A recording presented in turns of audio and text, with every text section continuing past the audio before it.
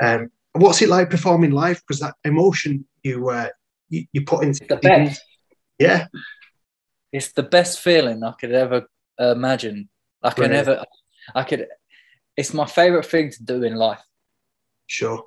And it comes. It That's does, probably it why I don't get to it often. It is just the best thing I have ever done in life. really. Just being on stage. Yeah, because like I don't know if it's the same for you, but I just want to be loved. I just want to be, I just want to love and be loved and feel appreciated. Like, don't we all? People are like, oh, you're, a, you like, like, you like, uh, I like people showing me attention. I like it when someone says, hey, Rocky, how are you doing today? Like, that thing you done was really good, or when we when we do something that we're proud of, we want recognition for it. And there's no better recognition like a room full of hundreds of people just just going mad for it. Like that is a, a, a that is an, a that is just a feeling that I couldn't get anywhere else, man. It's just like a drug almost, yeah. But I've only seen- when you're doing big, big, like really good gigs. I've had some gigs that have been total nightmares, bro. So don't get me wrong. They've been like the worst nights of my life. Oh no. yeah, man. Every artist will tell you, bro. Don't let them. Don't let them convince you that every gig is just picture perfect. Like Sure. I've been to some shows where, like, it's just been a fucking nightmare, bro. Oh Had the no. security trying to kill me and that. Really? Oh, oh, bro, I had some mad times at shows. Yeah. One time at a show, I got jumped by like 30 people. Another time at a show, I had a security guard try and absolutely murder me. I've had shows where the whole setup, the stage is just falling through, the lights have fell falling down, there's the oh, sound wow. is just.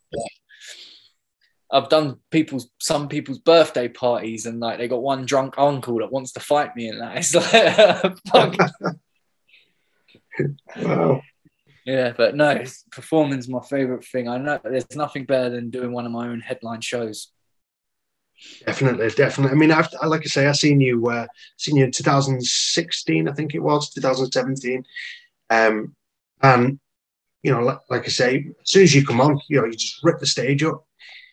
You know, uh, took a look around around me, and everyone's sing, singing the lyrics, and you know, Yes, the energy coming off you just transferred from the stage to the to the crowd.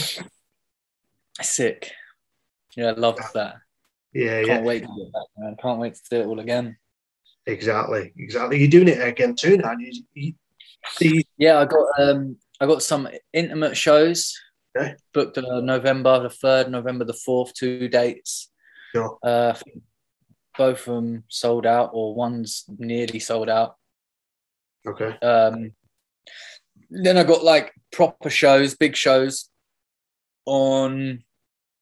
I think it's early next year, February next year. I'm doing like O2 uh, London, and I'm doing Band on the Wall in Manchester. We're gonna add some more dates as it as it goes on, but I'd love to see you there, man. I'll be there at the Manchester one. Definitely. Oh, bro, I'd love to see you there. It'd be great. Yeah, I live in Warrington, so it's only Man, 10, 15 minute drive for me. So, but perfect. you know, I'll, I'll, I'll be there. I'll be there, mate, and um, can't wait. Yeah, can't man. wait for that one. Yeah, definitely come through. Drop me a message. We'll we'll get you backstage and we'll look after you as well. Oh, you're a star! Wow, No, thanks man. that. You and your friends or whoever you're bringing, man. for sure. You're a legend. I salute you for. Yeah, absolute legend. that's all right, brother. No, it's all good. nothing, nothing, bro. Don't worry.